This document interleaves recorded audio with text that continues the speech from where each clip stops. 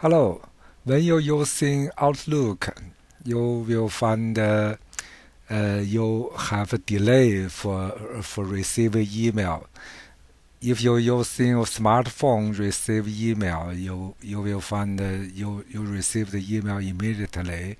But uh, when you open Outlook, uh, maybe you you still need to wait for about 10 minutes. That's because uh, by default, Outlook uh, uh, check email every 30 minutes. So in this video, I will show you how to set up the uh, set up the receiving email uh, to the correct uh, time. So you will receive the email immediately. So when you open out Outlook, you go to File. Then you go to Options. Here you go to Advanced. Then you will see